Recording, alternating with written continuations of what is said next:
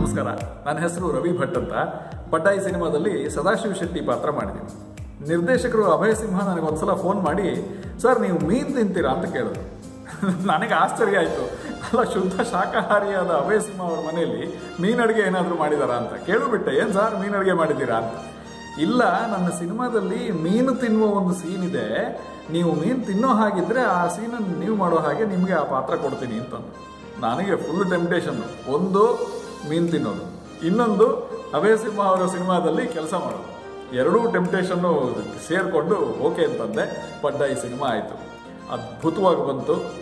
ಇದರಲ್ಲಿ ಇನ್ನೊಂದು ಇಂಟ್ರೆಸ್ಟಿಂಗ್ ವಿಚಾರ ಏನಂದರೆ ಶೂಟಿಂಗ್ ಮಾಡುವಾಗ ಎಲಾಬೊರೇಟ್ ಆಗಿ ಆ ಮೀನು ತಿನ್ನುವ ಶಾಟ್ಗಳನ್ನೆಲ್ಲ ತಗೊಂಡ್ರು. ಇಲ್ಲಿಂದ ಹೀಗೆ, ಅಲ್ಲಿಂದ ಹಾಗೆ ಅಂತೆಲ್ಲ ತಗೊಂಡ್ರು. ಬಟ್ ಫೈನಲಿ ಪ್ರಾಡಕ್ಟಲ್ಲಿ ಅದು ಮೀನು ಅಂತ ಗೊತ್ತೇ ಆಗೋದಿಲ್ಲ.